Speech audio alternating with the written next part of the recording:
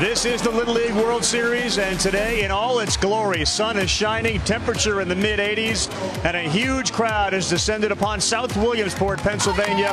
They get a chance to watch not one, not two, not three, but four Little League World Series games. That's Lamade Stadium, and you see the kids from Bowling Green, Kentucky, and the boys from Barrington, Rhode Island. That is today's elimination game. In fact, all four games today elimination games. Well, we're going to have a blast covering it for you. This is a division of Little League International with 16 teams that have ended up making their way here from a field of about 6,500 leagues, boys and girls, and we do have a terrific young girl playing in this one, ages 10 to 12.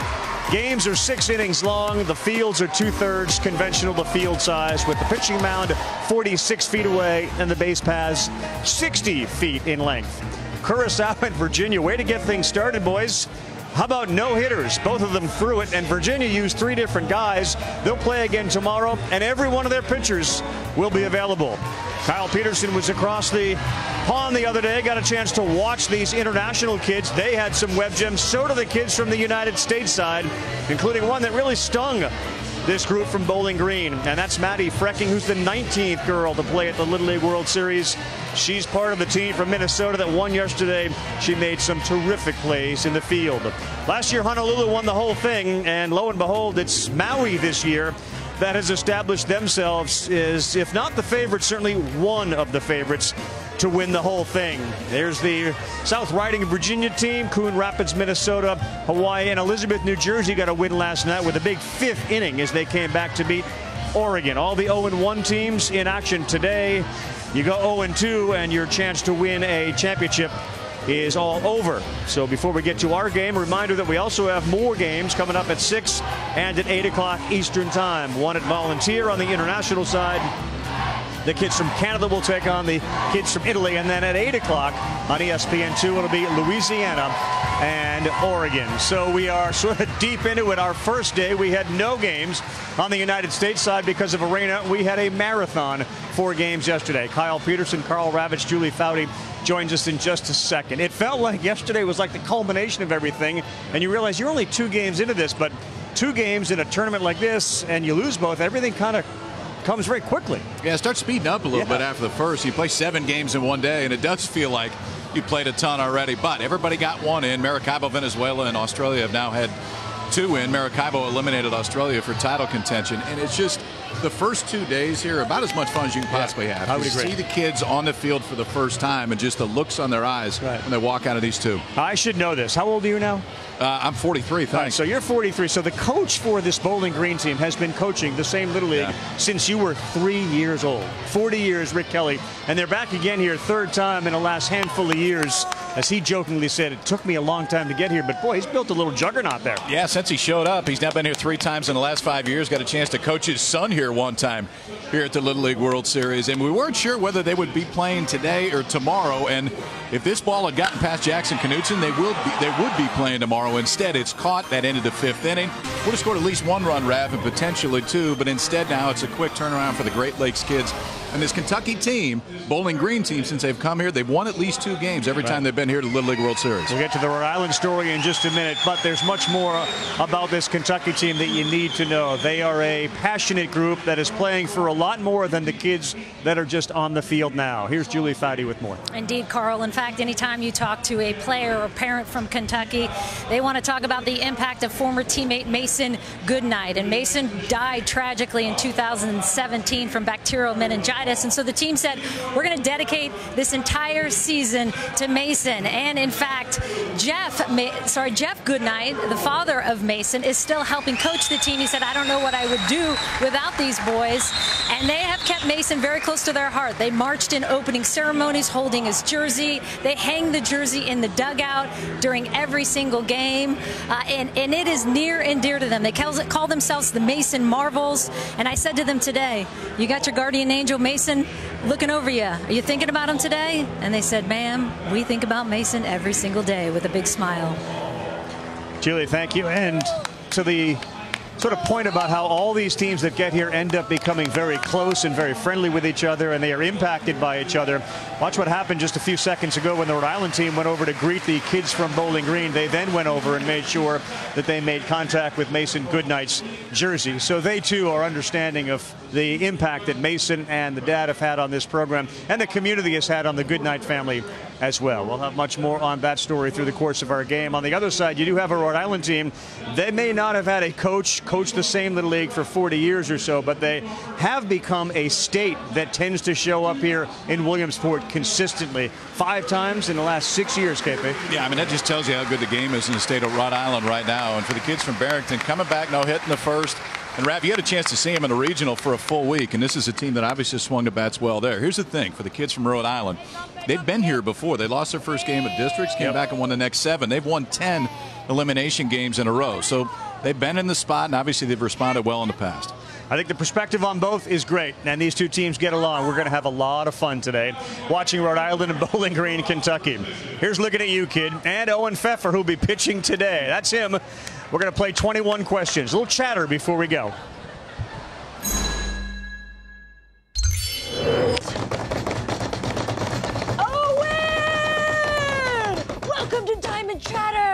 First of all, tell me about this dining hall. The best part is the ice cream. Really? Funny you say that, Owen. Look what I might have right here. A little selection. If you could only eat one food for the rest of your life, one item, would it be ice cream? That is a hard one. Probably ice cream. Do you want to do a bad joke off? Sure. Do you know how this works? If you laugh, you lose. Yeah, laugh, you lose. Are you ready? I might have to put my popsicle down for this. Yes. You go first. I go first, okay? What do you call a deer with no eyes? I don't know. No idea. you lose. I mean, come on. Seriously. You cannot laugh at the first one, Owen. Oh, that was a good one.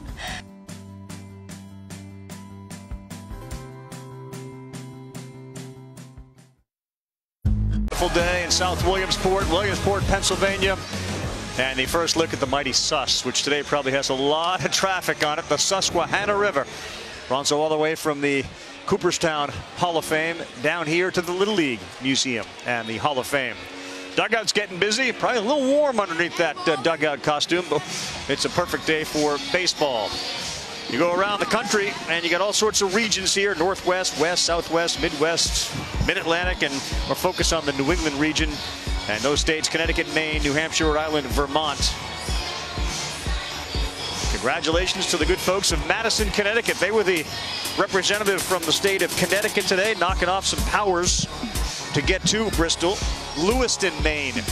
It from the great state of Maine, Walpole, Massachusetts. Traveled on 90 to 84. Goffstown, New Hampshire, back again just coming up a little shy. Bradford, Vermont, the champions of that state. And Barrington, Rhode Island, of course, here for the fifth time in six years, representing the Ocean State.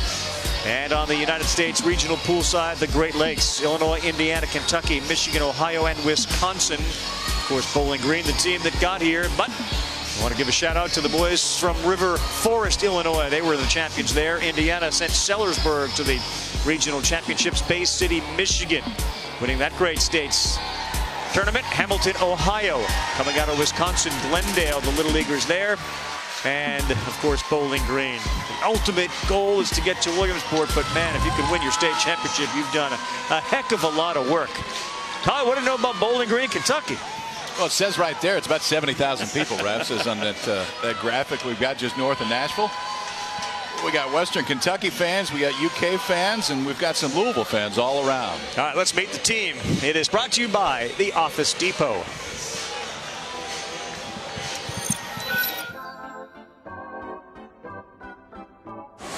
My name is Jackson Idlet, and my favorite actor is Jim Carrey. My name is Luke Idlet, and my favorite app is Snapchat. My name is Whit Glossick, and my favorite actor is Tom Holland. My name is Evan Challer, and my favorite food is buffalo wings. My name is Jameson Napper, and my favorite baseball player is Francisco Lindor. My name is Saul Geyer, and my favorite baseball player is David Ortiz. My name is Matthew Escalera, and my favorite app is YouTube. My name is Harrison Yates, and my favorite emoji is the fire. My name is Chas Huff, and my favorite player is Joey Votto. My name is Grayson Newman. And my favorite team is the Atlanta Braves. My name is Nick Simpson, and my favorite game to play is Fortnite. My name is Eli Kreis, and my favorite emoji is the face palm. My name is Cameron Obi, and my favorite athlete is Zion Williamson. My name is William Alexander, and my favorite athlete is Ja Morant.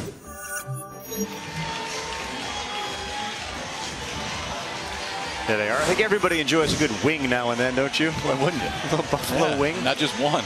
Rick Kelly's probably had a few of those over his course as a 40-year manager of the same Little League. And for the third time, just think about how difficult it is to get out of your district, let alone your region and state. He's been here three times, and we are set for baseball.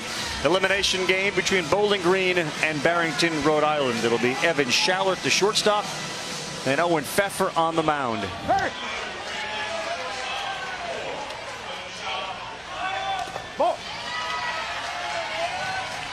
So you get Pfeffer on the mound, and in center field is Alex Anderson. And between those two guys, they have started 15 of the 17 games that Rhode Island has played. So they like the guy they've got out there right now. They have great faith in him. Lefty works fast.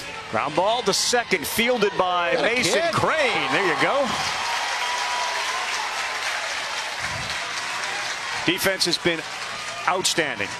No matter what field you're watching, Volunteer or Lamade, that's a good start for Crane. That's the one thing that sticks out every year at the Little League World Series is you go down to volunteer here and you're going to see some kids that can really throw the lever. Goes backhand side from the knee.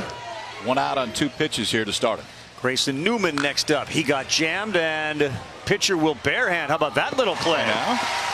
Two for two. Owen Pfeffer picks it up. I've seen a lot of Rhode Island Kyle between the regionals and whatnot. This is what they do. They pitch to contact and they do catch the ball. Well, you throw a fastball on the inside part of the plate. I don't care how hard you, you throw. A lot of times that'll tie somebody up. little two hopper back to the mound. Bare hands it, has plenty of time. Shows that ball to his first baseman. That's two quick outs here in the top of the first for Owen. Number three hitter, Jamison Napper, and he swings at the first one. As you begin to watch this year's Little League World Series tournament, you have boys and girls that are 10 to 12. So hitting the ball over the wall, you got to really get into one. And you'll notice that they're a little more aggressive at the plate. They're not a lot of waiting around for balls one, two, three, and four. They're coming up and they're swinging. It's refreshing. So last year's Little League World Series, about 40% of the kids were 13 when Yeah. we saw them here. This Yep. year rules change. Can't turn 13 before September 1st. So we're all 12 year olds. And I know you you went all the way through regionals. There- There's a little bit of a difference. And I think ultimately it's a good thing. Yeah, I agree. This one's fouled off. Ah, yeah, a little funnel cake early. That's an aggressive start. We got a long day. I like the approach. If you're going to go, go. Huge crowds on hand today for Napper, who swings and rolls one down the first baseline. That's a foul ball. So our guy Jameson here at the plate with all the people that are in the stands, they get some exclusive uh, company up in the Grove. And the first day he got here, he was in the playroom and he saw the Japanese kids playing MLB The Show. So you, what do you do? You go to your phone. Grab your phone. Figure out how we speak Japanese. Google Translate, try to start a handshake, and now he's got some buddies on the Japanese side. Really good start for Owen Pfeffer. We'll see Rhode Island come to the plate when we come back. Underway. The field, but in the booth, feeling good. Kentucky, Rhode Island has gone zero, and here come the kids from Barrington in the bottom of the first. So where are we in Barrington, Rhode Island? Take a look at the city profile. It's right on the water. Beautiful. 16,089, about 10 miles southeast of Providence. And you know Brad Faxon? You know what he could do? I've heard of Brad. He could roll the rock when Yeah, he he was can. on the PGA. And of course, Brad Faxon, and Billy Andrade, two of the PGA professionals from Rhode Island. Let's meet the kids, presented by the Office Depot.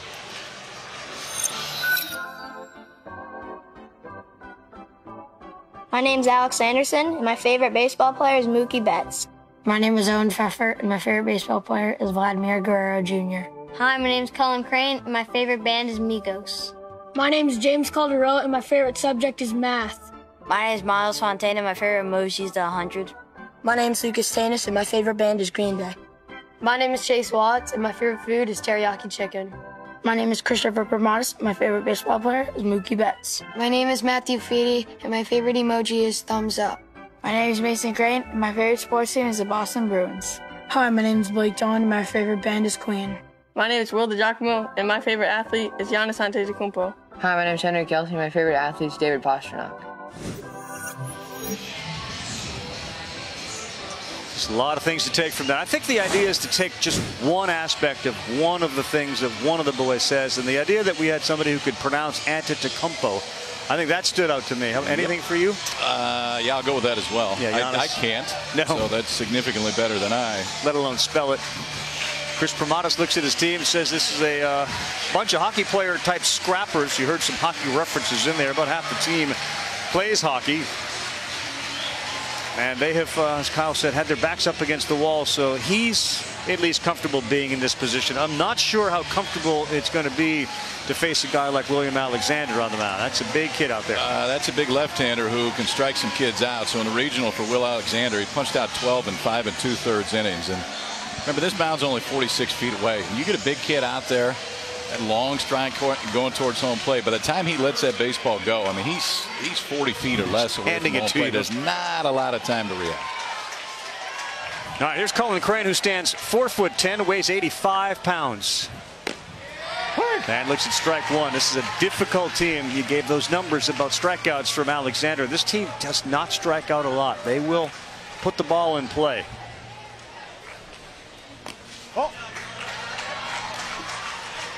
This is one of those. He plays for the Providence Hockey Club. He is a center and left wing. You know how difficult it would be to kind of shadow Cullen Crane at 410? Like you wouldn't be able to find him out there. Zipping all over the ice.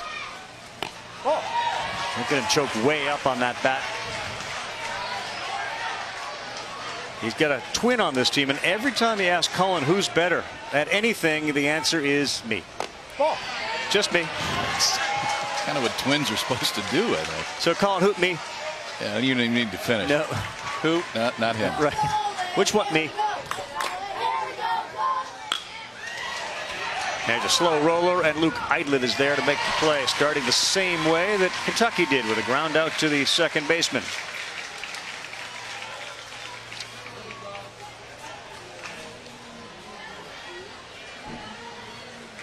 And here comes big number seven, Lucas Tanous. Figure a kid from Rhode Island, usually Red Sox fan. Occasionally you'll have some Yankee stuff bleed in there.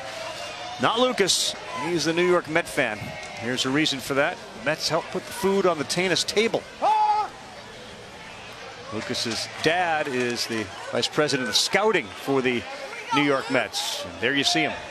Thomas Tanous, the VP of scouting, believe responsible for finding Pete Alonso. Now they could have consulted you on that, KP. I mean, you were you were on Alonso when he was a real young guy. Pete was Pete was live when he was in college too. Right. The bat worked then, and obviously it's working at the big league level this year. On the ground, good hop and played well by Evan Schaller. This defense looks good early, two for two on a 6-3 put out. A little adjustment by Evan Schaller to shortstop right there. Started to charge and recognized he could get a bigger hop if he gave ground a little bit. Did. Makes that play a little bit easy. Two ground ball outs to start it. Guys are throwing strikes. We like this. Here comes Owen Pfeffer, the pitcher. Got a big brother, Michael, who's helped him a lot with his baseball. He played through high school as well. You know, Michael seems to be more pumped up almost than Owen is about this trip to oh, Williamsport. We see out there, Michael, his brother attends Boston University.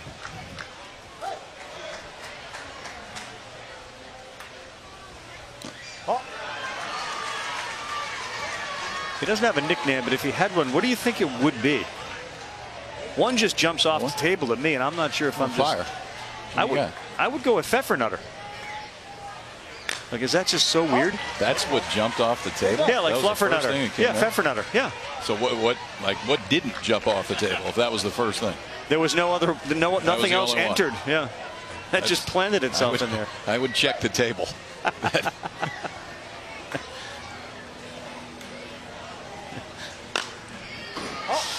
I'm playing at different tables. That's what you're saying. You and I are Everybody's got their own table. pretty standard. They've got their own pins. I like it. Plenty of that around here. When's know the? Rav pin going to show up? Uh, it's a good question. How about the strategy, though? We're going to trade pins, but everybody in the shade. Good move. Huge part of the Little League experience, let alone Little League World Series, but Little League experience. Got a big pen up here in the booth. I don't know if you've seen this thing. This is this is a big one. And there is a short one and Yeah, fielded lefty. cleanly. How about William Alexander? lefty. That's right. How about having to turn your whole body on this play? Big William Alexander turns around and makes the play. And uh, hold your horses. May have our first challenge of the day. Watch this one now. We got to come all the way over. Swing and bunt. Opens up to that side, bare hands, and there's no chance. If he gloves it, there's no chance he's going to get him. What do you got, Rav? I think they just got him. I think he's out. Ball in glove, and I think he's out. Umpires have done a really good job, and a good stretch there by Chaz Huff at first base. But the prerogative of the manager is to ask for a review if he feels the call was incorrect. We'll find out if it's going to stand or not. This is where I would, I think I would walk back after the call is going to be upheld and say, you know what? It's probably why I'm coaching and he's umpiring. Pretty good call right there. It's a hard thing to do, but these guys, You these gotta women, listen and watch. get it right. Listen and watch. Out by a half step and two clean innings to start it. We got a good one. Hill's full. Second hill starting to fill up on a scoreless first. in a vat of boiling oil.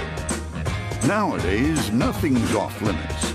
Concoctions and confections of every shape and size can and will be fried alongside the action and savored with deep affection at the Little League World Series. Get all in there. Yeah, this is a great day for ice cream, vanilla, chocolate, maybe a little swirl. Ooh. All right, we want to extend a special thank you to the official sponsors of Little League, Lance and Cannon, who help maintain the strength and leadership of this Little League program. How can you be serious when that's going on? Little League wants to thank its dedicated volunteers who make the program a special place for millions of children. That's brain freeze all over it. I don't know what that was, but there's nothing left. Here's William Alexander, a.k.a. Ooh, the Hulk, and he fires one back up this way on a foul ball. Because of the story Julie told with Mason Goodnight and the Mason Marvels, a lot of the kids have adopted nicknames based on Marvel characters, which is why we have William Alexander, the Hulk. William looks like if he gets a hold of one, he could put a Hulk-like blast into it, too. The Hulk can probably give it a ride. Look good on the mound to start this one. That was my lunch buddy the other day. We were up top. You and the Hulk? Yeah, me and the Hulk. Hulk can eat. Oh, he gets punched out on a tough pitch from Owen Pfeffer. Back-to-back strikeouts. Let's bring in our buddy Julie. Karl, you were talking about Owen Pfeffer's brother, Michael. I found Michael, and we were talking up above before about how you were such an influence in his baseball career, Michael. Tell us about that. Yeah, um, I've been working with him since the day he picked up a baseball. It's been a lot of fun. It's kind of created a bond between the two of us, and uh, it's given us something that we enjoy spending time together. It gives us a reason to hang out and not to argue and fight. Who who made him a lefty? Are you responsible for that, Michael? Uh, mm, a little bit, but it's actually my dad. We, uh, when he was like two, we used to, he'd pick the ball up with his right hand, and we'd take it out of the right hand and stick it in the left, and hold his hand by his side and ask him to throw it back to us. So over time, he did become a lefty. He was forced into being a lefty. All right, and most pressing, what do you think of the nickname Pfeffernutter? I think it's something we could pick up on. I don't know. I think his friends in high school might call him a little soft with the with the Pfeffernutter, but uh, it works for now. You know. Yeah. I, I like it. Yes, thank you. Ravi will be very excited Yeah. about that. Just want to uh, shout out the boys at home. All right, enjoy the game. Consider it done, and you keep shouting out all you want with the Pfeffernutter approval rating. I don't know that that was really an approval. Well, it's a start. Back to the backstop, but goes after the error was charged to James Calderella. You know, that bunt, too, Calderella really read it. He came charging in, and uh, his pitcher, Owen Pfeffer, came to the baseball right around the same time. Would have been a close play after the bunt from Luke Eidlet, so he moves to second. Chaz Huff on a 1 1. Rips it right to him.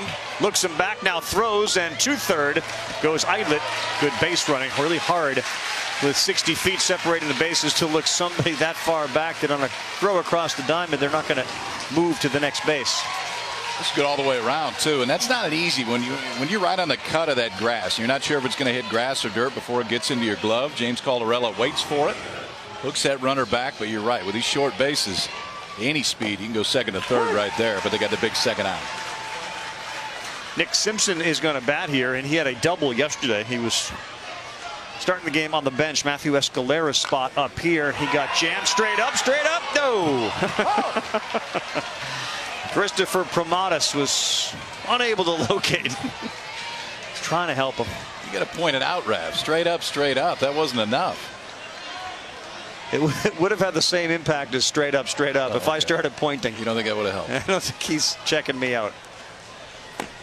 Good pitch and a effort to get out of a jam from Owen Pfeffer. They leave a runner at third.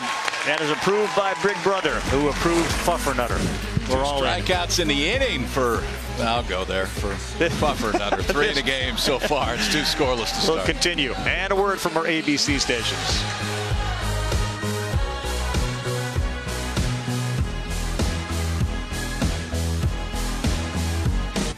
Hey, Whit, do you have time for a couple questions? Yeah, sure.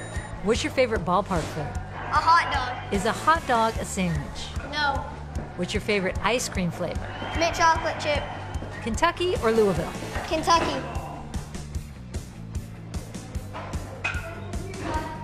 Sitting at the pool or on the beach? Beach.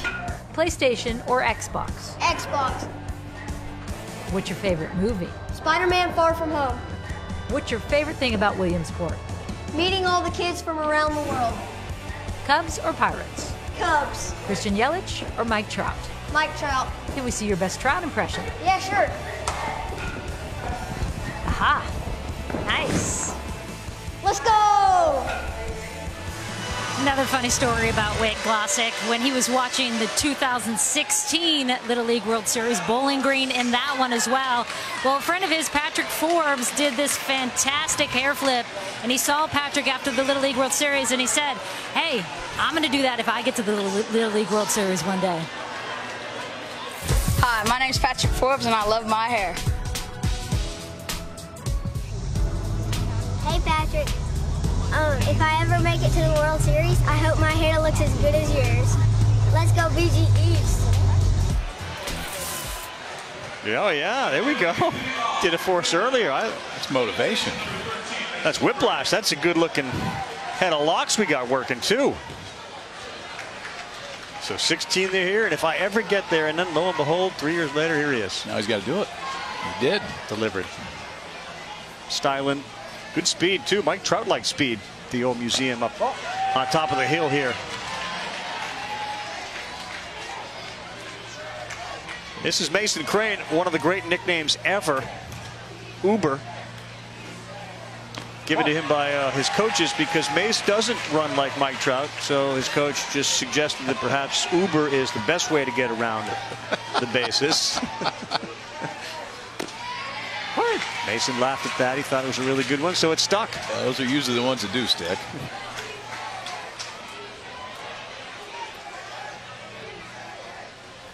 That's a good walk, and Uber heads down to first.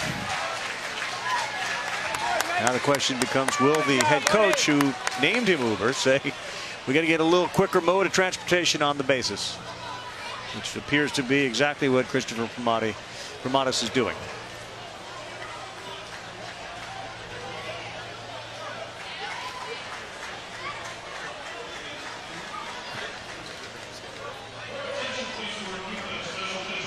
It's going to be Will DiGiacomo.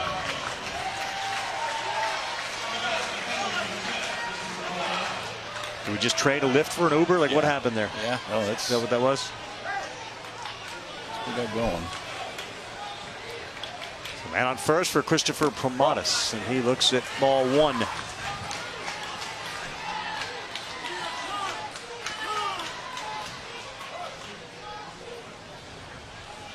And here comes Rick Kelly. He saw something that we're going to listen in on. You're aiming the ball. Just rock and shoot it. Throw strikes. Let them put it in play. Just throw strikes. Let's go.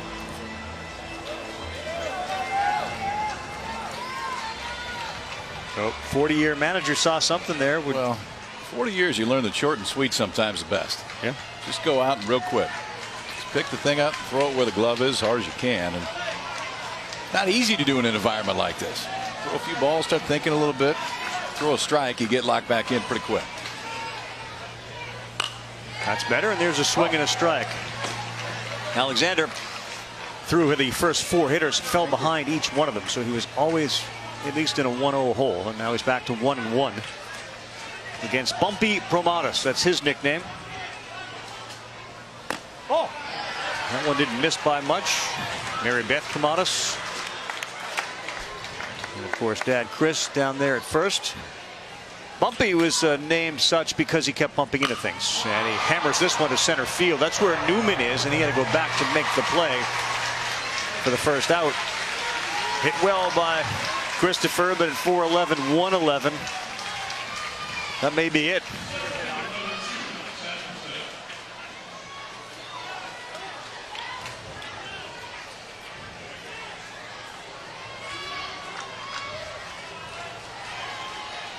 Alex Anderson steps in, yesterday's pitcher, and he pitched a terrific game yesterday. Time.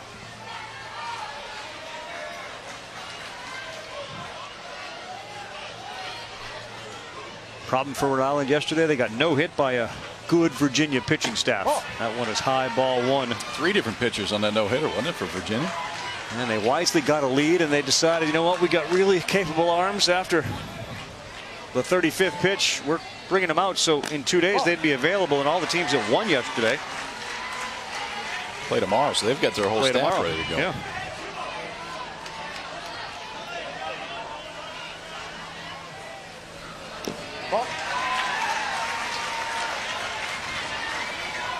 Once again, William Alexander finding himself in a little bit of a hole.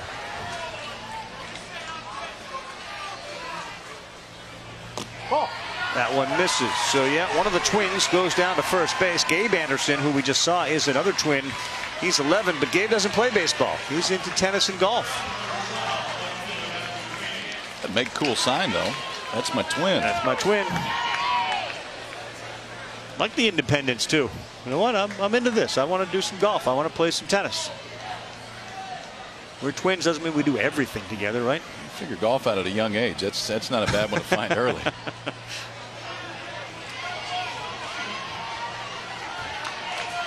So a chance for Rhode Island here. They get a couple of men on, only one down. And Matthew Feedy steps to the plate. On the ground to second. We'll go two second for one, and that'll be it. But a good job by Luke Eidlet. He threw to Evan Shallert for the force.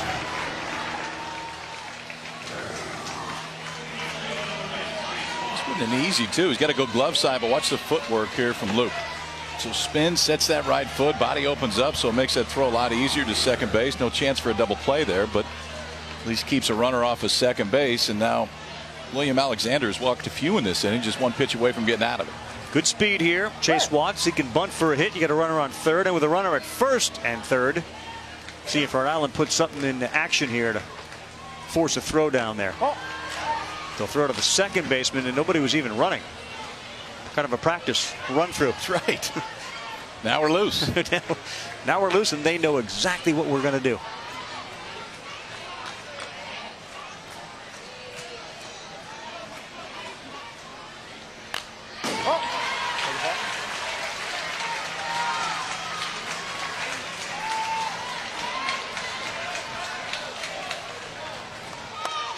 Step right at him.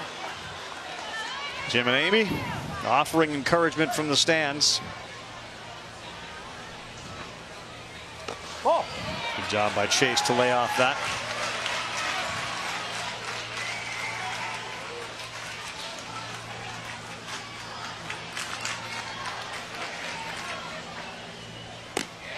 That's a good pitch. Tough one, too, for a lefty. Left on left. That pitch away from me when out of his hand. It looks like it's going to hit you, then ends up on the outside corner.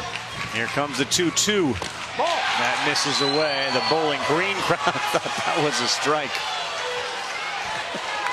Take your time, you good.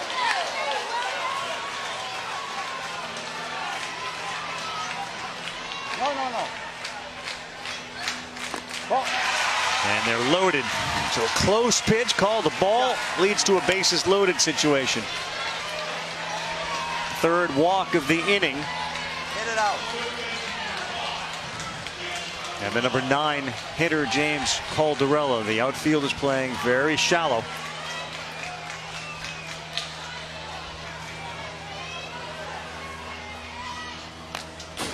Good rip at it. Boy. Good pitch, too. Ready to go right there.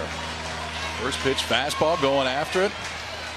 We talked this year. Last year was the first year that the new bats came in. They performed pretty much like a wood bat. You start to see outfields play a little bit more like that. Try to take that bloop away. Good work behind the plate. Harrison Yates presented a run from coming in, prevented, I should say.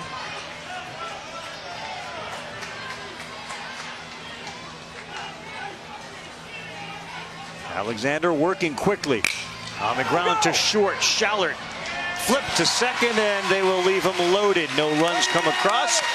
Both teams have threatened and both teams have been denied. We are through two at the Little League World Series and ice cream on tap for the day 0 0.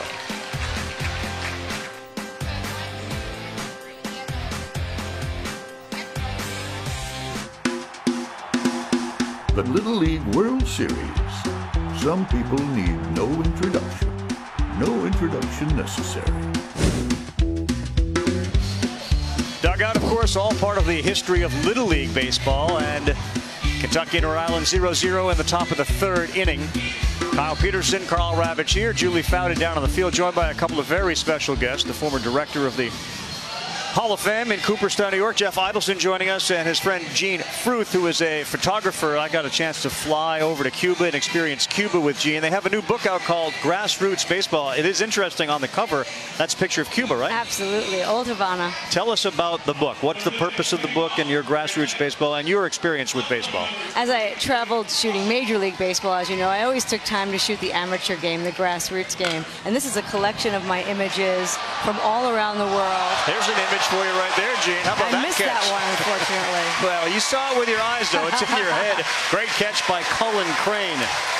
So go ahead, continue. So 15 chapters, eight in the U.S., seven outside the U.S., and each chapter opens with a Hall of Famer or a legend from that region telling his story of what it was like growing up in that region. And Hall of Famers like Hank Aaron, Whitey Ford, Randy Johnson, who was just here, Yeah. Legend Fernando Valenzuela from Yeah. Mexico, Ichiro. Suzuki from Yeah. Japan, uh, and many more. We have Cal Ripken Jr., who wrote the introduction, uh, and Johnny Bench from Hmm. Binger, Oklahoma, who wrote the afterword. And this one back up the middle. Another good play by Owen Pfeffer. What got you involved with the book, Jeffrey? Well, Jean was shooting for the Hall of Fame, and I got to see firsthand how much he appreciated the amateur game. And then it was about connecting her with Hall of Famers. And every single guy we talked to, all of them, all 15, the 13 Hall of Famers and the other three legends said absolutely want to be connected to this project. It's part of a bigger project, Grassroots Baseball, which we're undertaking now, which is promoting the amateur game, giving back in underprivileged communities to help grow the game. What was it about the amateur game for somebody that was involved with baseball at its highest level? I mean, you were dealing with Hall of Fame players all the time. Why the amateur game? Well, eight years at the major league level, 25 with the Hall of Fame, Karl. I thought it was time to go back and join Jean and promote the amateur game. And that part of our game doesn't get enough love, in our opinion. I'm so glad to see ESPN here in Williamsport. We wanted to do our part by helping to promote it and grow it in those communities where kids may not have that opportunity. Jean, did you have a favorite stop? Was there one that, that stuck out more than any other?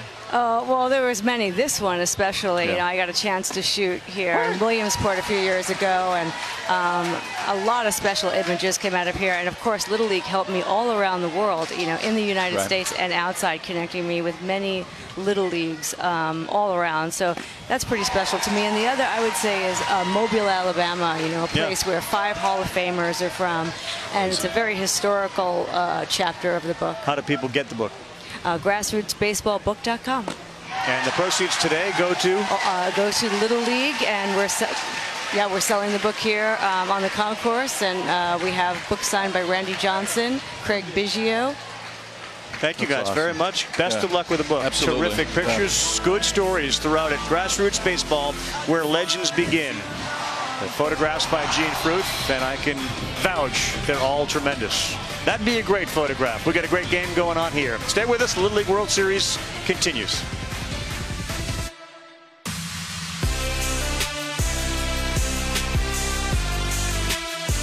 Back, everyone. Our coverage from the Little League World Series continues. Of course, you have two great stadiums here Lamade Stadium and Volunteer Stadium. Lamade, which all the kids talk about getting a chance to play on that grass.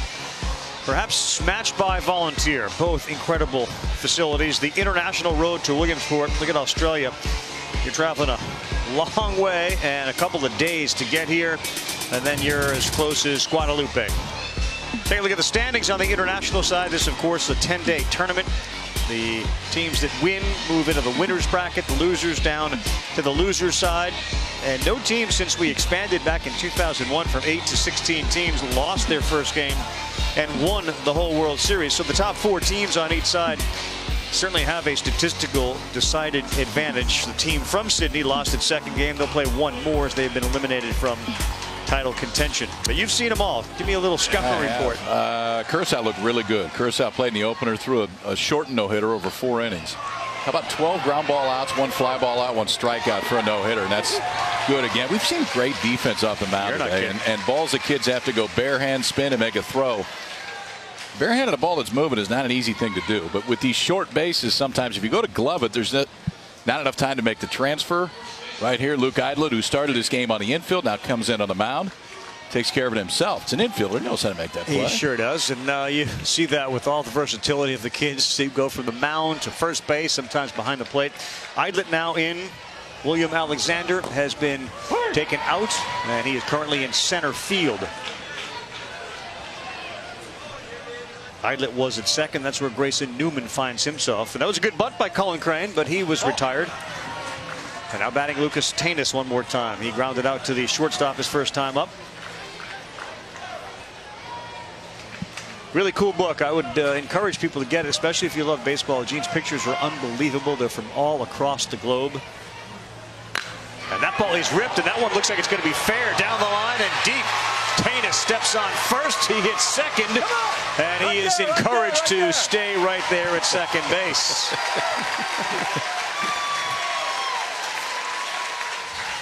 Kind of mixed message. Come on, come on, stay right there. Come on, don't move. A little spinner on the inside part of the play. Lucas gets ahead of the bat out there, hooks it down the left field line. And with these outfielders playing a little bit more shallow, which we've seen across the board, if it gets over their head, it's going to be extra bases for sure. One out double right there. First hit of our ball game. Oh, and Pfeffer, and this one a little blooper. Trouble. It drops. So a double and a single, and now heading to second smartly, and he is safe. Is Owen Pfeffer heads up baseball by a high IQ baseball guy and Owen Pfeffer.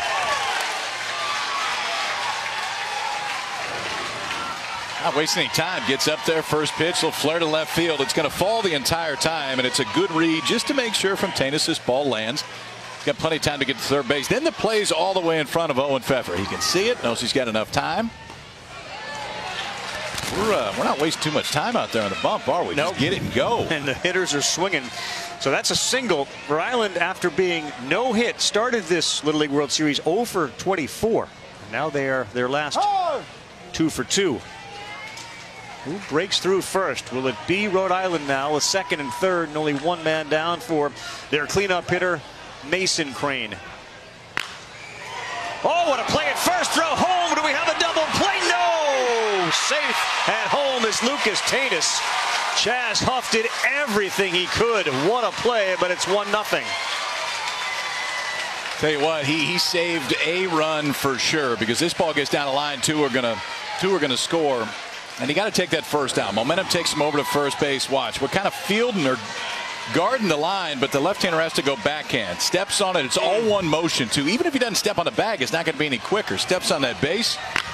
Good timing over at third. He's going right on contact. Sees that ball down. Good break towards home. Rhode Island's on the board. Now Christopher Promatis, and he swings at the first one on the ground to short with two down across the diamond. And that'll do it. Oh, Chaz Huff, maybe a little better throw knocks Tanous out at home. But it's Rhode Island who breaks through first. After a double and a single, they lead it one zip. We're midway through at the Little League World Series.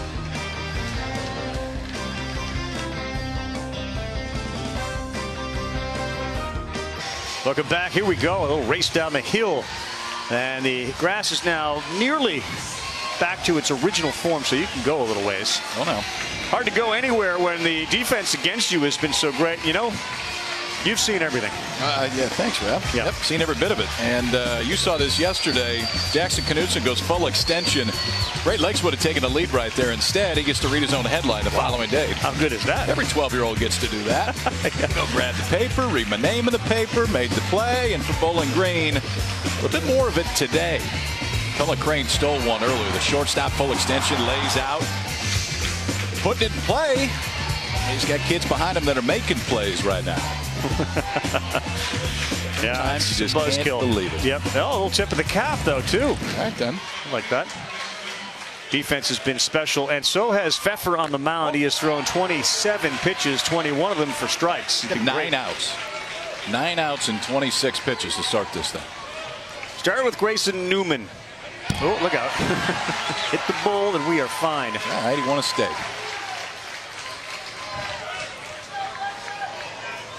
Again, I, I believe in the adage, if you're going to go, let's just go.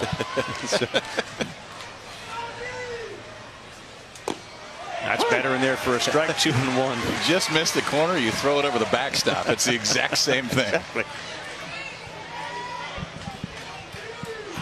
One nothing Rhode Island in this elimination game. Good swing up this way. Stop just short thanks to the fencing in front of our booth. Haven't had one yet this year up this way. Anything? Nothing? In, no, anything over there? International? You get a ball yet? No, we had a few wasps. That was wasps. That'll make things interesting, but we, we shoot them away. That's pulled foul.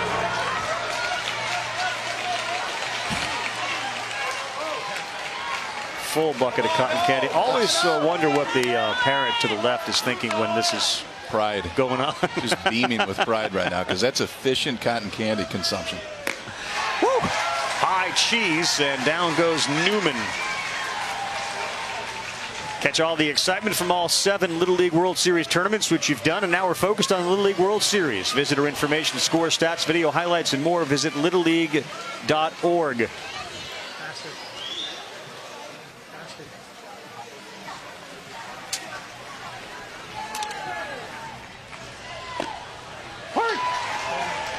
Strike one.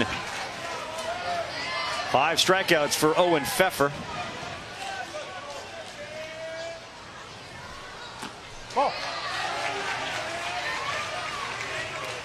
So the kids play Saturday with all your baseball playing experience, and then you get here, and then you're sort of off until Thursday. Then it rains, so you're playing Friday. How, how, difficult do you think the transition from all you've done in the summer to like a week off to this field and all that goes with it is? I think it's natural to. It's going to take a few innings, or it may take a day. I think I would think the hardest thing for a 12-year-old kid is you've seen this thing on TV. You, you've heard all about it. In some cases, your own little league has been here before. And then you get here for yourself. And this is how tough it is to get here. District, section, state, province, or country, the regionals, and then you show up right here. So it is a long road just to get here. Uh -oh. Breaking ball that didn't break, and uh, as you mentioned, all of a sudden the pitch count, which was so good, will struggle this inning with the control. Ball. That's ball four, and that's a walk. First walk by Owen Pfeffer today. And go ahead, Jameson. Head on down. That's four.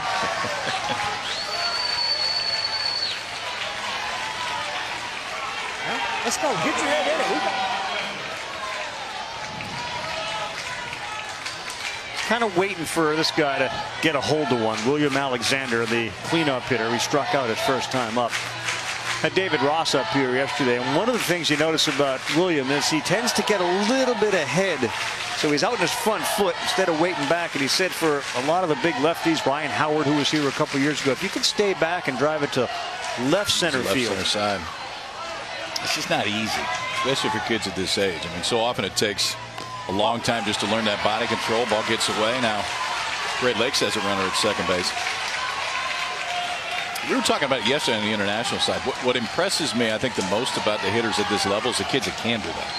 The ones that yeah. can take the ball the other way, because when you're growing up, you just kind of you're built to want to pull it. Alexander, that ball is smothered, Play. and a good job at second base by Mason Crane. And uh oh, Alexander fell hard on the first base bag. And now he got up, and now he's slowly kind of going back down to the ground. It may have been an ankle that he rolled, and he's in some pain over there.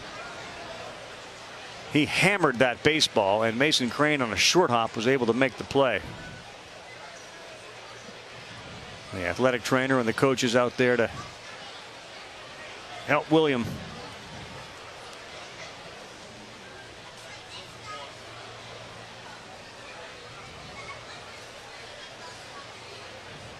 See, Little League Baseball, those first bases and all the bases, uh, you can see it there in the lower left part of your screen. It kind of rests on top of a pad there, and it has some give in it.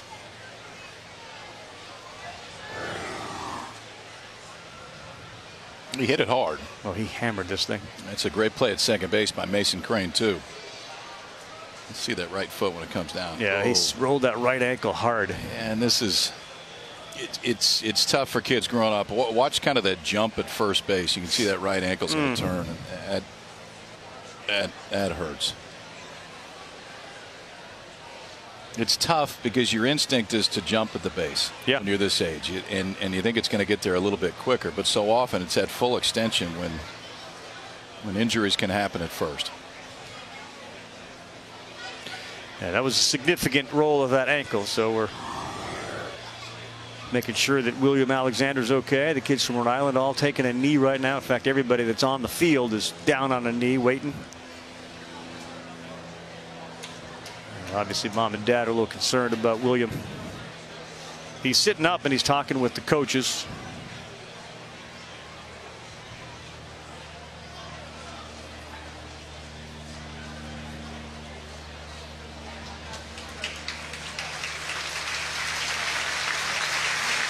He's helped up and he's going to try to take all the pressure off of that right foot of his and be helped off the field.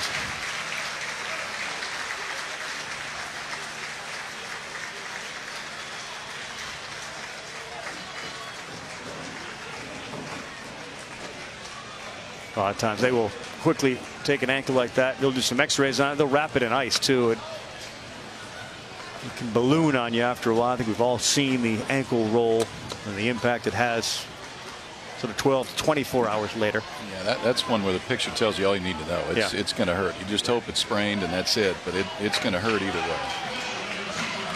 It's hard. It's hard to, to not convince yourself to jump at that base.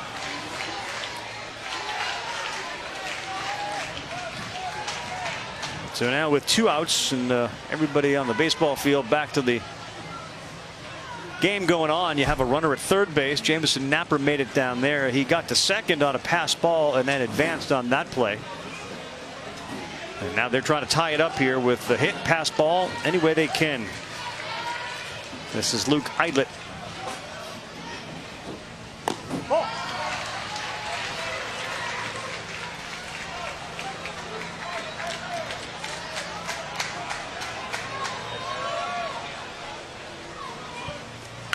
Oh, he's going to do it.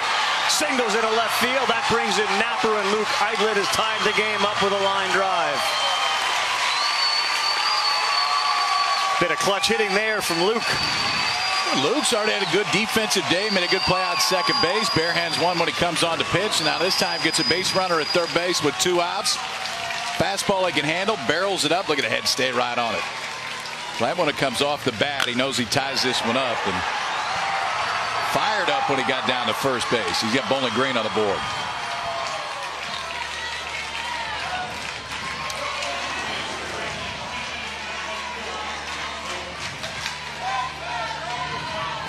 Eidlet was robbed yesterday. He was the guy that hit it that Jackson Knutson made that catch on. Number 24, Cameron Obi Name familiar to those that follow Little League Baseball. His brother Devin played a couple years ago. He's got a big, powerful swing, but he misses there. I mean, he's behind 0-2.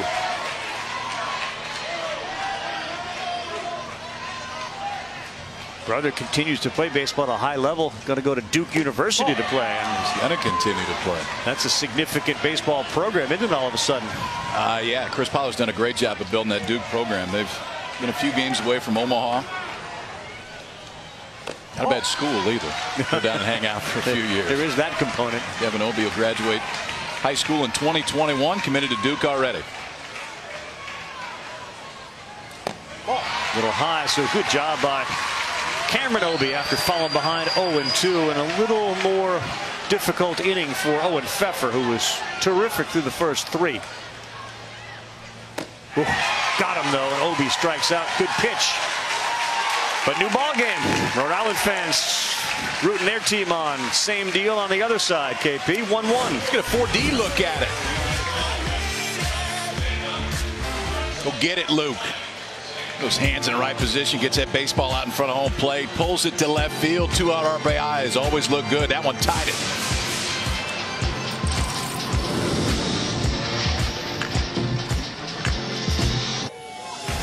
A special day for baseball. You can't help but come here and feel like you're 12 again. Oh, a diving stab. What a play. That one is gone. That's what the Little Leaguers wanted to see. Cubs and Pirates, and that is the Major League Baseball Little League Classic. That's tomorrow, 7 o'clock Eastern Time. We'll start at 5.30 Eastern. Baseball tonight, Sunday Night Countdown on ESPN and the app. We'll be at the Little League Complex with both teams, and then we will shift and head over to BB&T Ballpark. You are required to say historic Bowman Field, so Says we right will, there. because it is historic. That's a pretty cool day, man. That's a really cool day. Look at this. We got cameras all over the place. That is historic Bowman Field right there, Rav, in the distance. It's Five, miles, away. Yep. Bordered by that highway. It is five miles away. You know what that's focus. across? What? The Mighty Mighty Sus? Is it right? Okay. Yeah, you cross, take a left, take a right, and you're there.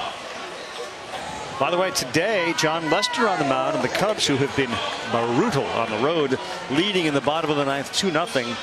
Lester gave you five innings, didn't give up anything, but he did walk five. He struck out a handful. And they're trying to get a rare road win before they head to Williamsport tomorrow, and we'll see them at both fields interacting with all the kids. Hear from Steve Keener, the director of Little League International, Rob Manfred, of course, the Major League Baseball commissioner, and so many of the players will join us as well to talk about this experience. New pitcher for Rhode Island, and I should say for the Great Lakes, that's Evan Schallert, and he gives up a leadoff hit. Both teams putting the ball in play. Alex Anderson delivers the single. It's just tough to plate the guys.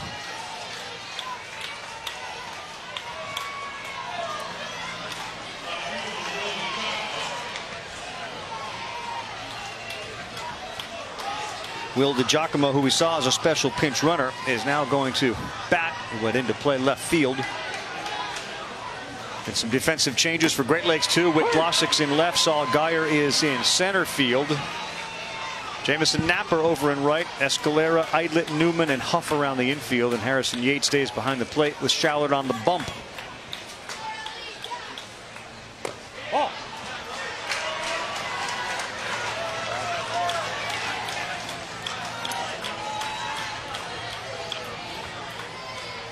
Bottom four of a six inning game. If it's tied after seven, after seven, not six, but seven, you go with the international rule. You put a runner on second base. Like that one? Oh, yeah. Yeah, so do I. What do you think? Uh, all in. like that look, too. Hard to beat. Need the bunting, too. Yes. That, that's, It, it that's gives you that 1950s Yes. feel. Not enough bunting in the world anymore. Some definite people at home thinking like, well, I've seen actually a bunch of bunts in the Little League World Series. Different. Different bunting. I understand. I know where you're at. Multiple. Remember, I went to Ithaca, the Stanford of the North. So I am on the same level. Good spot.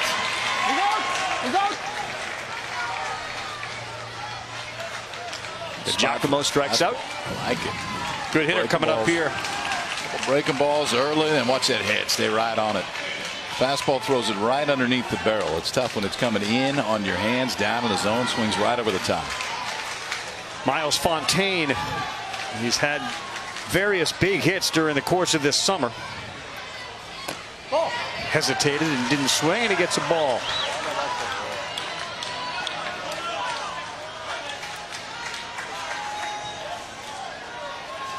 Big Miles been around these kids since they were six, and he waited on that one and he ripped it into left field, and that one gets by the left fielder.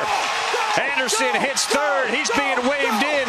Here he comes, and a double for Fontaine, who comes up with another big hit. Good hitter. Miles Fontaine delivers. It's Like you've seen this team before, Rav. Secret weapon off the bench. Second time around for this Rhode Island team in the order. Miles Fontaine first at bat. Watch those eyes. Breaking ball, middle part of the zone. Glossick out there in left field just about cut this one off. The minute it gets by him, Alex Anderson off and running on first base, and Rhode Island's back in front. Now Blake Dolan, the scoring's picked up a little bit. Two runs for New England, one in the third, one here in the fourth. Kentucky got one in the top of the fourth.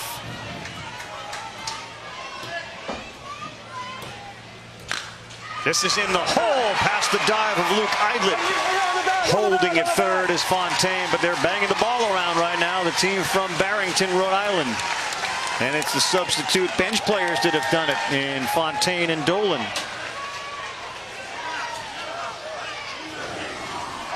Love the base running at second base right now because you got to wait. Make sure this ball gets through. If it's gloved, it's an easy play at third. If you break on it, you can't take that chance right there. The minute that ball's through, Miles Fontaine's off and running, but a good job of waiting. Go back short. Good job. They're going to take Go Evan center, Saul, go to right. Shallert out of the game. He's a little frustrated. On the bunt or on the steal? On the bunt, fake the throw to first and get the runner at third. Let's go, throw strikes. Little inside intel. If you're at home, don't tweet it out. Don't tell anybody what the game plan is. Jamison Napper's coming in. They're going to bring a lefty in, try to make sure it stays just two to one.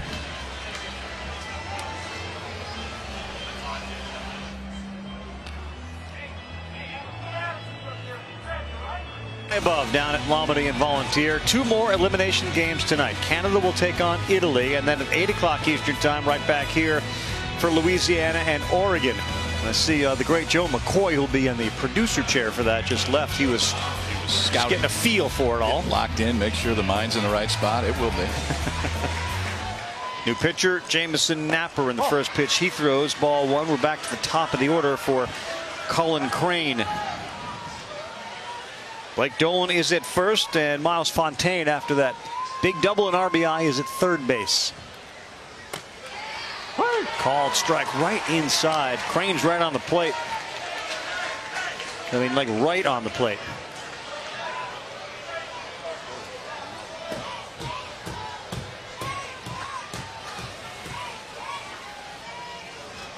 Oh. As a pitcher, how do you convince yourself when someone's that close to be able to throw it to the inside part? Forget like inside, but just inside of the plate. You got to take him out. of the Eliminate him. You have to. Yeah, it, it's because a lot of times when a hitter's on there, it's going to tell you maybe what where they want it and where they don't want it. The hitter on the plate, a lot of times you can tie him up inside. To third, tough play. It gets underneath the glove of Escalera. That's going to bring in a run. Tough play for Matthew Escalera, and Rhode Island increases its lead to three to one. You know, it's tough for a few reasons. One, is a third baseman with a left-handed hitter, you're not going to see this ground ball very often. Usually the pull side, the ground ball is going to happen more to the pull side. So as a third baseman, you're playing it a little bit. It gets on you quick. Just not one that you see a lot. Has that cut spin, gets away right there, and Rhode Island adds another. Still one down, two on. Last time he was up, Lucas Tanous hit a double to left field, so they're playing a little deeper this time. Ball one, can't find it. No advance over there at second base. Calderella thought about Idolan, I should say.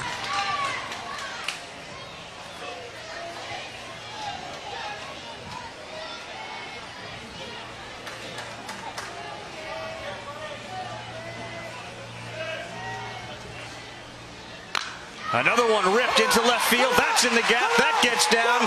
It's heading towards the wall. Lucas Tanous does it again. A double.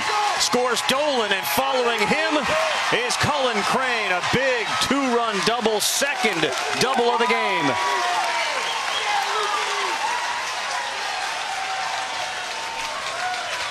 Now we get the bats going. No hits in the opener. Plenty of hits here in the second game for Rhode Island. This ball up in the zone. Lucas Tanous doubled on the left field line earlier. Now this time in a left center field gap. And that'll score two. Cullen Crane all the way from first base. Mom and dad are fired up. Why wouldn't you be after this swing? They've watched their son have a pretty cool offensive day at Lamade Stadium so far.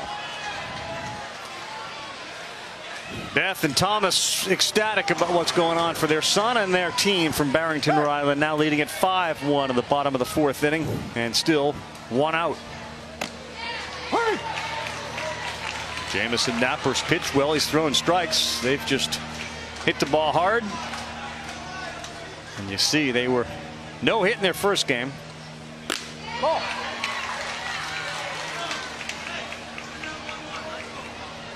It's the beauty of baseball, isn't it? Every day is different. Turn that page. Uh, turn it quick. Pfeffer back to the pitcher. They'll go to first, and that's the out. Tanous stays put at second.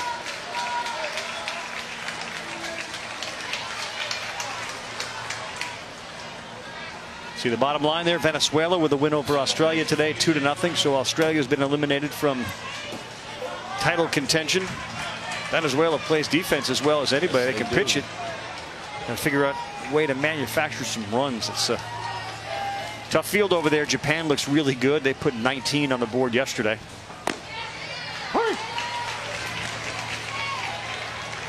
South Korea serve notice. They're back again. And Curacao. Typical dominant self. Curacao. Mexico won their opener. Talking about this yesterday with Curacao. I guess it was the day before. You know what the population of Curacao is? 160,000 people. And think of that with the number of, of guys that they've sent to the big leagues just in recent memory. Right. So think of your town in the States that has 160,000 people. That's the population that Curacao is, is sending multiple guys to the major leagues. Disproportionate. Yeah, it's how cool great, to see. The, great the baseball is there. And they said just how much the sport has grown since they started making it here. Yeah. Because there's been more eyes on it on the island. Fastball swing and a miss. First base is open. No foul. So Crane is going to be safe at first base. That one got through Harrison Yates. Down to third on that pass ball goes Lucas Tanous. Another break here for Rhode Island.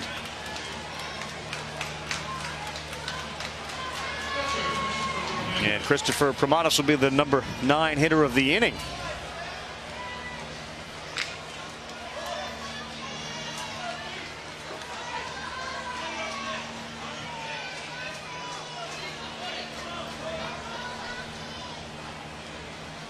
Uh oh, that one gets no, no, by no, and Hey, Tanous hey, hey. stays, but Crane goes down to second.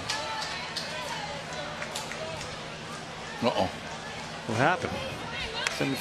Things are going really well. You'd figure like coach and manager's wife, uh, we've seen it all before. Yeah, but nope. Isn't it different when your kid's in there? Yeah. Christopher had a big uh, hit last time, but it was caught. Okay, another strike.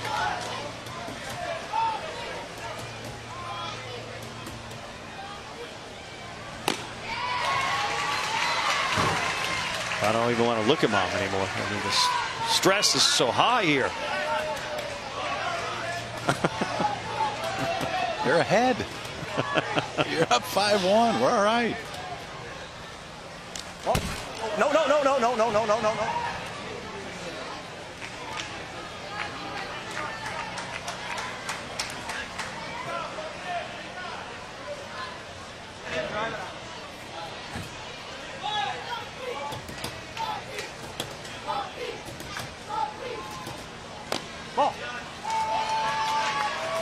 Okay, well, we got a 3-2.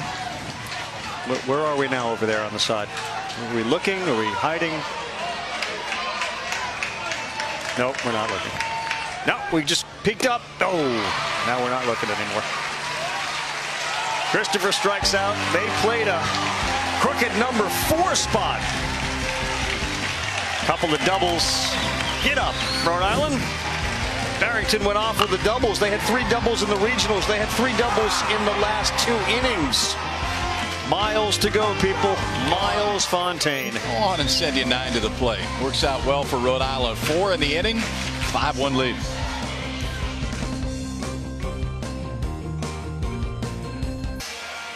Well, the big uh, bottom half of the fourth inning, Rhode Island scores fourth, and now lead at 5-1 this elimination game at the Little League World Series. And it's now time to meet the player. Brought to you by Chick-fil-A, and it's all about that guy, Lucas Tanous. Father, dad, is the VP of scouting for the New York Mets. So Julie's going to talk to him and his mom in just a moment. Two-time MVP in flag football. And he wants to be on Broadway. He's not necessarily want to be a baseball player. He wants to just go to the big stage. Well rounded. Been great on the big stage today, hasn't he? Uh, yeah, the hands and the feet work pretty well. Lucas Tanous two doubles today. One time down the left field line. That was the first hit of the game. Then this one. They scored two more. Extended that Rhode Island lead. Mom and Dad got to be pretty fired up about what they've seen with the boy today. Go ahead, Jules. All right, Tom. What was your reaction to the second double? You should know I punched you. Uh, well, on the first one. Uh, great. Yeah, he did a great job. Stayed on the ball. He, he saw it. Started to swing early. Uh, you know, he's he's hot right now. Said like a VP of scouting right there. You've been to a lot of ballparks, minor leagues, major leagues. What do you think of this one? This is gorgeous. Uh, I, I, said this to my wife earlier. This is like Disneyland if you're a baseball fan. Uh, it, it, really is. The atmosphere is incredible. Um, and uh, I mean, the kids, the fans, we're, we're really lucky to be here. We were talking before the game about what age do you start as a scout? You've been doing this for a long time, a couple decades. You start looking at kids because you get parents who are panicked if their kid by the age of 12 isn't getting scouted. Yeah, yeah, no, the, the panic is, it keeps getting earlier and earlier with the parents. Uh, but uh, nice play. Uh, the uh, you know usually around 15 or 16 uh, the showcase circuit gets really big around 16 and 17 uh, where the kids go to the area code games and perfect game and uh, you know that's where it starts to ramp up with what we're looking for with players. Uh, you mentioned maybe seeing a video though of little league player before? Yeah so we were uh, you know in our draft meetings our pre-draft meetings 2014 we're watching we you know like, like all draft rooms we're watching video of everyone um, and one of our interns comes up with a video of Michael Conforto at 11 years old playing right here on this field, hitting an opposite field home run, which he does pretty well in the big leagues. So, yeah, yeah. Enjoy the game. Congratulations. Julie, thank you very much. The Conforto deal worked out all right. Yeah, that did. Played here, played Yep. in Omaha for Oregon State. Now he's uh, he's had a great run for the Mets. No one else works out pretty well? Jacob DeGrom on the mound, and that's the deal tonight for the Mets. Yeah. That can make a scout Kansas look City real good. tonight, aren't they? Yeah. In there for a strike. Quickly, you have an idea because you were around the college game and the amateur game all the time. When he said, you know, 15, 16, that's when we start to see what we're looking for. What, what are they looking for for people at home? What are they looking for? Well, athleticism, hands, arm action, all those different things. And I, there's athleticism right there. Right there. Ma- Make that play. Lucas Tanous making his dad happy right there. The first baseman comes off, fields it. It's not easy for a pitcher right here because you got one chance at it. Route takes him directly to first base. It's another one, two, three inning for Owen Pfeffer. Only seven pitches in the inning, and Rhode Island feeling pretty good about themselves right now.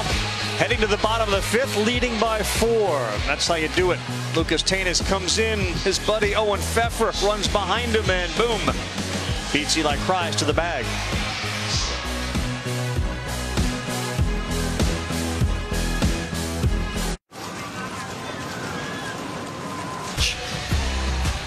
From shortstop Cullen Crane. They're just beautiful. They let you know what's going on. Our Honda game summary also helps you understand what's going on. And right now, it's the Ocean State Rhode Island over Kentucky, five to one. Only one hit for Kentucky. Yeah, we were one one in the fourth, and then Rhode Island with a four spot in that inning. Kentucky's defense has been great. Nine out of the 12 outs recorded by that defense, and Owen Pfeffer has been outstanding on the mound, efficient.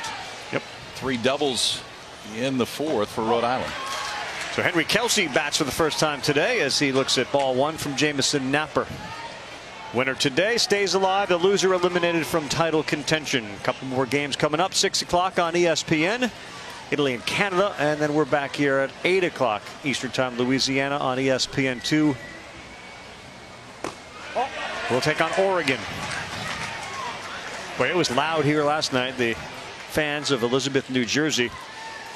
Uh, that guy would have had no chance last night, given how loud it was. I mean, it felt like it was the final game of the World Series. Good job by mom. I think it's always important too, as you know, when you're holding somebody that's trying to sleep, you got to go to sleep too. Like you got to just let them know I'm No out too. movement. We're both Yep. shutting it down here. I'm with you.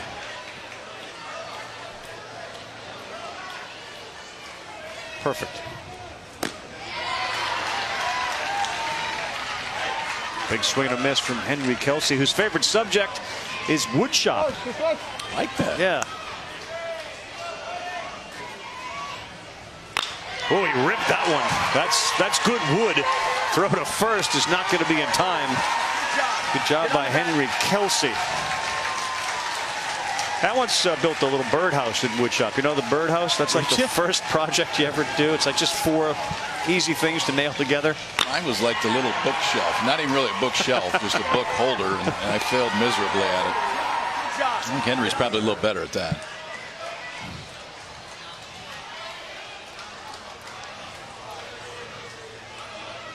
Tell you one thing, Rhode Island here has really, in the last couple of innings, hit the ball, and they've hit the ball hard.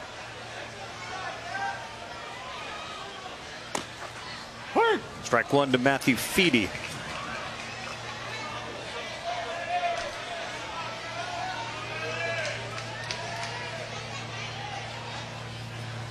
All the substitute players for Rhode Island have gotten into the game. That mandatory play rule, such an integral part of Little League, and Three of the four got hits. Rightly so, exactly.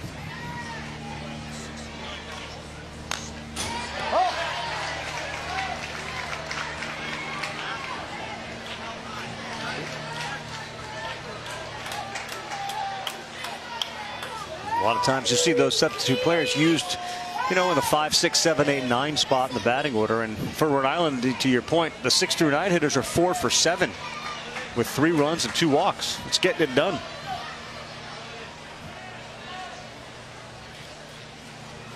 Oh.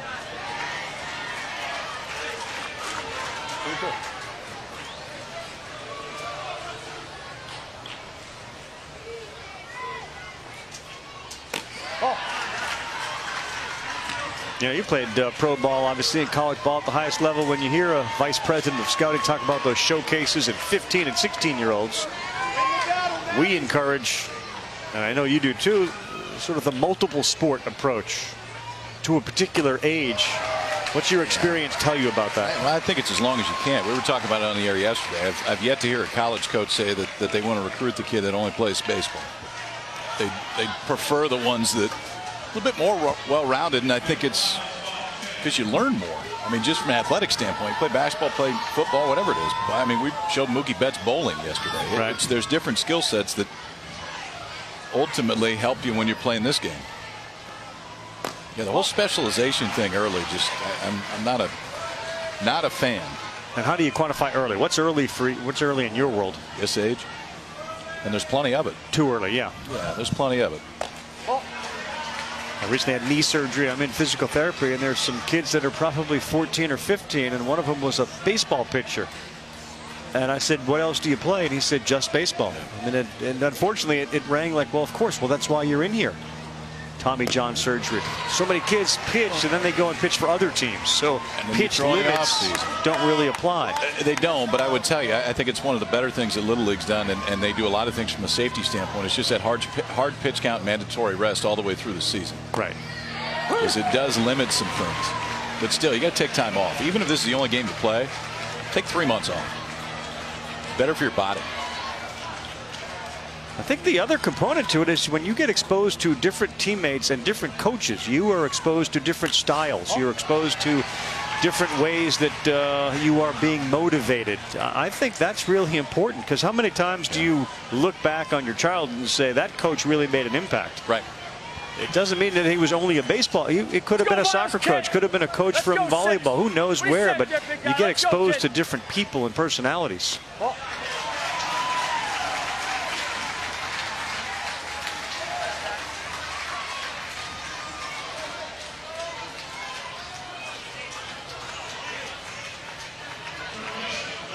I remember Little League baseball. A lot of my friends made the major leagues, and I was sitting there in AAA baseball, the lower level, and that was the coach that had the greatest impact on me. Somehow he convinced me Really? that I was important to that group. Remember, his name was Tim Halloran. Like I remember those things, and that was a over the top, lower level. This is number nine. Just have some confidence. Let's go. You're fine. You're fine. Let's get out of this real quick so we can come in and hit some. Let's go. You know, it's so true. You don't know where that impact's going to be, and it, it doesn't mean it's it's always the the greatest X's and O's coach. A lot of times it's the one that just knows how to motivate and it carries you through whatever sport you do. I, I, mean, literally, when I got the phone call, you didn't make the majors. I cried. I was like so depressed. He turned that negative into such a positive. The best experience I had at the Little League level. Two aboard for Blake Dolan, who is batting in the nine spot. He also is one for one with a run. Big gap out there in left center field between Glossick and Newman, and that one is way outside. And now you got guys at second and third.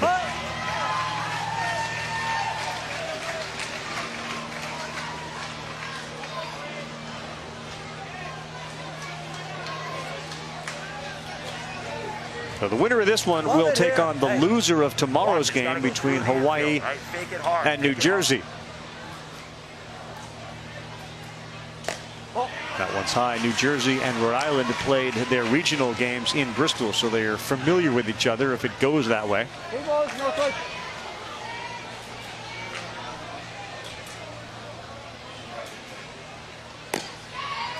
All right, now. Throw that first one, get yourself all the way back. Infield drawn in right now, down four. So you just got to make sure you get that hard ground ball. Got a lead right now. You're probably not doing it, but it's going to take a chance here in the fifth.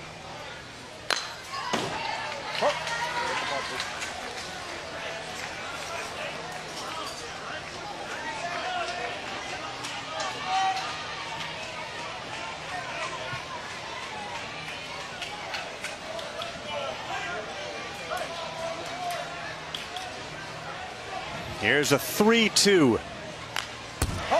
Fouled off. Good job by Dolan.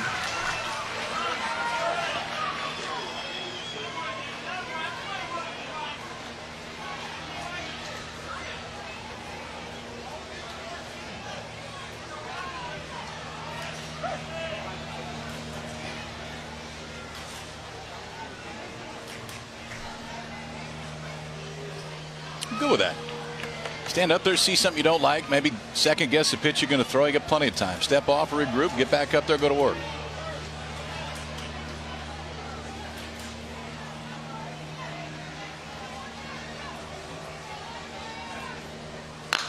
Slow roller and halfway. They throw back to third and out at third. What a job over there Luke Eidlet did. Runner was off third base, and right away, Matthew Feedy down there, the third base coach, is uh, instructing his manager to go ahead and review that one. Henry Kelsey was about seven, eight feet off the bag when Eidlet fired over there. Let's take a look at it. I think he's going to be safe. a really good throw over there, too, and he had to deal with a pitcher. Jamison Napper, the pitcher, getting out of the way, throws a strike. Looked like that right hand might have got to the bag just before the tag got there. That third base coach, Matthew Feedy, got a chance to uh, talk with him at the regional in Bristol, and he was a hockey player under our buddy Dave Belisle, who, of course, uh, led a couple of uh, Cumberland Rhode Island teams here to Williamsport and has worked with us as an analyst during the regionals in Bristol. Dave and his dad, legendary hockey coaches in Rhode Island, and Frank played hockey for them. Then he went on to West Point and played four years of hockey. Great personality. Says he's got two different personalities. He's got his hockey coach personality. Okay. You know, yelling, baseball coach screaming, and he's got his baseball coach personality. Before he tagged your shoulder? It's disgusting with. I thought that's what I saw, but. Henry Kelsey down there. It was bang bang. I like this. So we were adamant right away. Yeah. We, we got a review. We got a review. Then a little bit later on, hey, uh, did your hand get back in time? That's what I Just saw. want to double up here. and I think it did. Just watch the extension of the right hand. He's going all the way to that outside corner, too, which is where you want to go. It makes it tougher. Gloves got to go a little bit further to make the tag. Anything from the way that Matthew Escalera fielded that ball out in front of third base that maybe you would encourage? Can you, if it, if you weighted the bag and it gets to you, you don't have to move so far. Yeah, I think the hard thing on that though, a natural reaction with a ground ball to that side if you're a third baseman is you think the play's going to be at home plate. Right. So you probably don't think the play's going to be there. Yep. Probably take a few steps to the infield, and when you get back, you got to reach just a little bit further for the tag. Little League does such a great job with their replays. They generally are doing it in about 30 seconds or less. This one clearly is taking a little longer because it is a really close play. But we're giving the equipment back and we'll have our call in a second.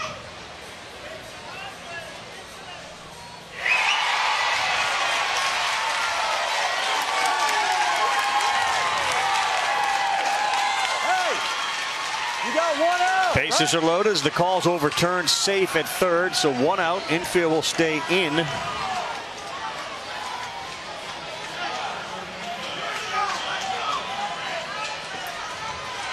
And a contact hitter in Cullen Crane at the plate. A lot of times when the infield comes in, you see these guys just end up blooping it over the head. Look out, that was right over the head of Crane, but over the head of that in infield.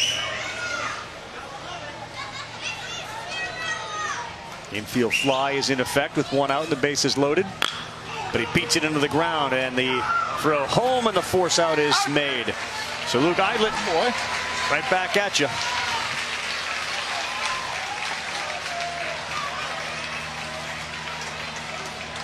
Two down. How about having a guy like Crane at the leadoff spot? Like every time he's up, he's going to make contact with it. He's going to put it in play.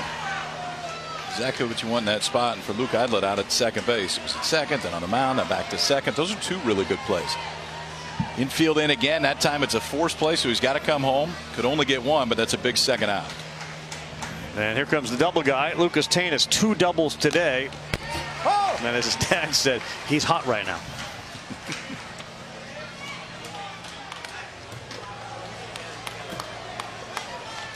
what do you got? Three doubles? Where, where are you? Big Luke, Three warm. spot in him. He's running warm right now.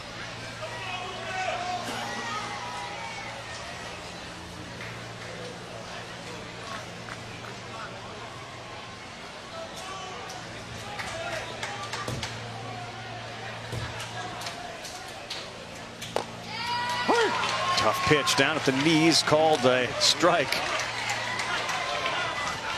Luke's like, don't you know who I am? You got two dubs. You gonna call that a ball? Is that what he said?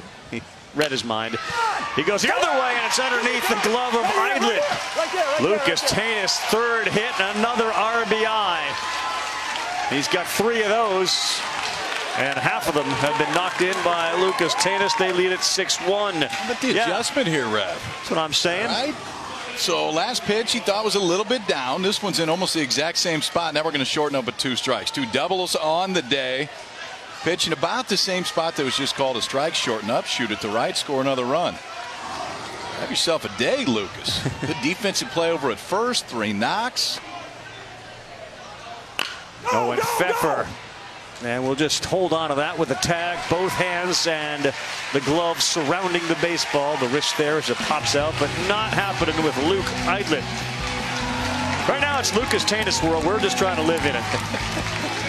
He's been the guy. 6-1, and the last chance coming up for Kentucky.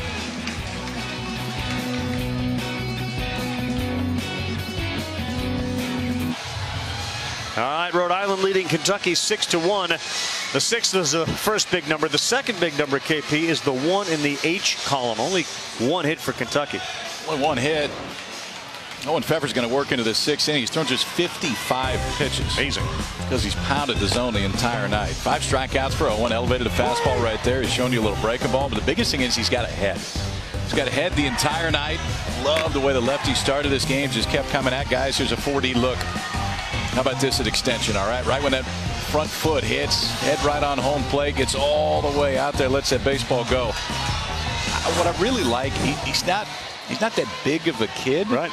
But he's been throwing inside the entire night. He's thrown two pitches for a strikes, five innings, just one hit, just one walk, six punch outs, and he's got a chance to finish this one off and keep this the rest of this Rhode Island pitching staff from having to throw anything today. He's 4'11", weighs 92 pounds. His form is terrific, and that one is a ball to start. Last chance for Bowling Green, Kentucky.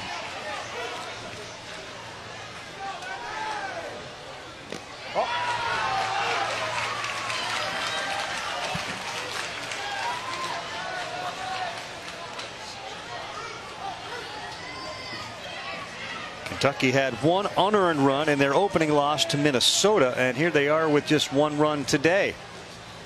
And this is, speaks to anybody that's at home and they got little league kids and they're eight or nine and think someday we're going to be there. It is a more difficult challenge when you get to this level. You've come through your, as Kyle pointed out, your districts and then your sectionals and your states, and you're really feeling good about yourself. And then you realize, like, now we're taking on the rest of the country. And you run into some buzzsaws here. That's why this is the cherry on top of the uh, ice cream sundae. You've accomplished so much just to Yep, get here. Just to, just to be able to hang out here for 10 days.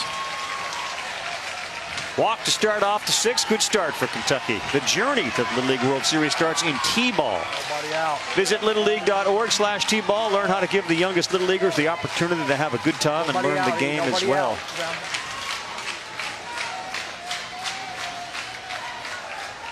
Child aboard. Here's Grayson Newman. Oh, that was a little high.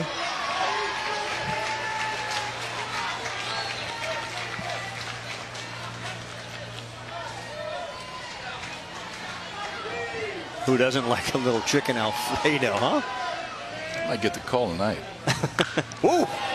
Hit that one really hard. The That's foul. barrel right there.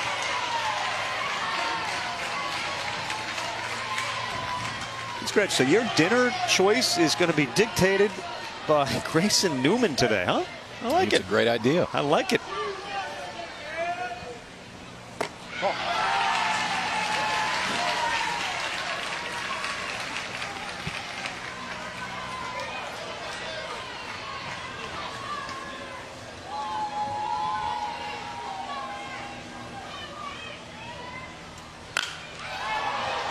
Popped up center field. Anderson and is there. He backed up and he came in to make the play, and one man is down.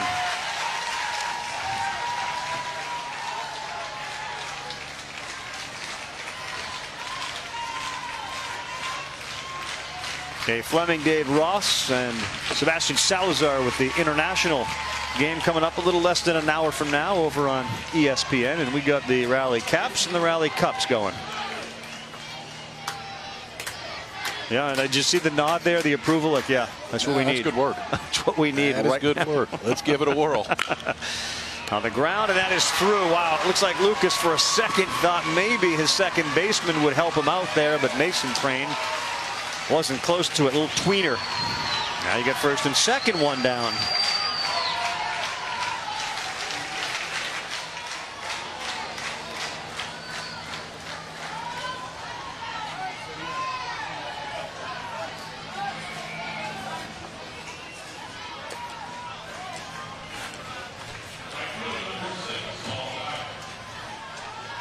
We got action. We got two men on. Pitch count 65. Little convo here to settle it down. Awesome out there, okay? So the situation is we got guys on first and second, one out, right? So, so here's the thing. The force is at any base, right? First, second, or third. Belly up on defense. Don't let it go by. Make the play, just like we always talk about. Fundamentals first. See it in the glove. Make the play. Look, you just stay focused, baby. You're one of the main, main reasons why we're in the position we are to be here. You're pitching phenomenal today. All the credit in the world. You just keep pounding the strike zone. Everything's going to work out. You got one of the best defenses all Little League baseball right behind you. Don't forget that. Don't worry about it. I got that. Coach, oh, coach, we're going to talk about something else. a big point to make. Hey. Inch hitter coming up here, coach. Hold on. Let's talk about the matchup here. We're not taking the FEF out, I'll tell you that. No, sir. We're going to ride the FEF. Saul Geyer is the pinch hitter. Without question, my favorite part of the meetings on the mounts, especially when the kids start offerings from thought. Right at the last minute.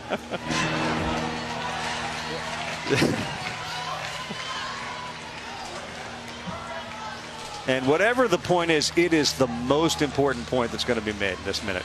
And it, it, it goes up in importance if you don't get an immediate reaction back.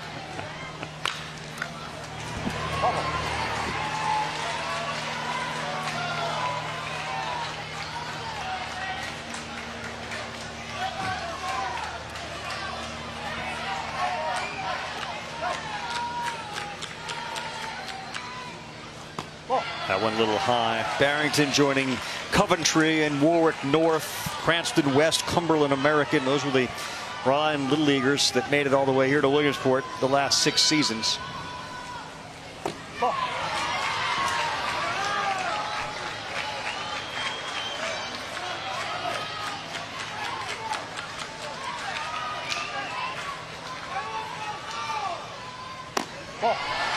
Take. Quickly points to that first base umpire. I I want to appeal that. You don't know if you don't ask. All right. Double play would end it. 3 2. Walk would load him up. Strikeout. Oh, Owen Pfeffer. One out away as Rhode Island tries to continue along this path to a Little League World Series title. Yeah, four seamer grip it. Hands aren't quite big enough to use two fingers. So we had to use three. That is Sure. beautiful. Lets it go. Seven strikeout of the game right there for Owen Pfeffer. One out away from Rhode Island playing on. Good hitter here. Luke Eidlitz hit it hard a couple of times. And here goes another one. Left field. Back goes Feedy. It's there to make the play. And Rhode Island gets a complete game from Owen Pfeffer. And oh, down goes Pfeffer. Lucas Tanous there to bring him down.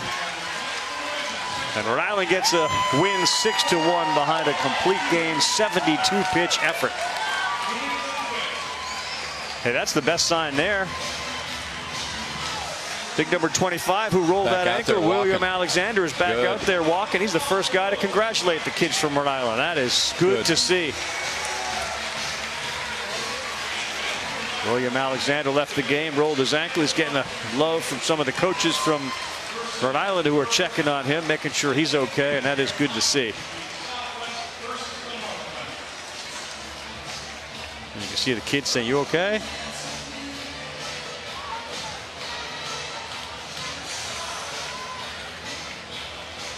Well, Bowling Green, Kentucky had a terrific summer. All sorts of offense as we see Alexander jogging out towards left field where they'll have another team meeting. We're we're gonna donate back home. And We're gonna we're gonna fund it. So I want to stay in touch with you. All right? So let's get together. All right? No, it's, it's, no, it's okay. I'm so happy. So happy you're doing. I don't know how much you're doing for the program, buddy. Great job.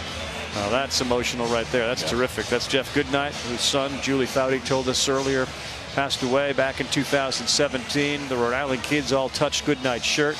And you just heard the coaching staff say, and you can see some tears in the eyes of uh, Goodnight. We're going to make a donation to the Mason Goodnight Foundation. They didn't know each other before they got here to Williamsport.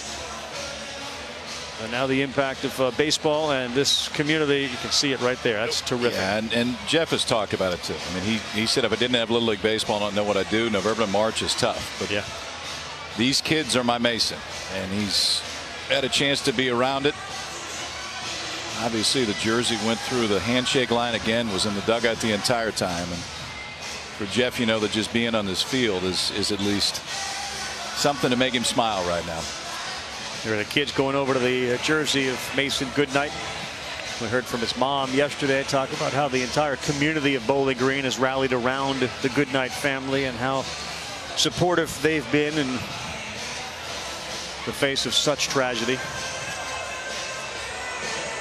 Mason's Marvels will see their title contention chances eliminated today, but this team is way bigger than a Little League World Series title. And so is that guy and his personality and all the kids that lost one of their best buddies back in 2017.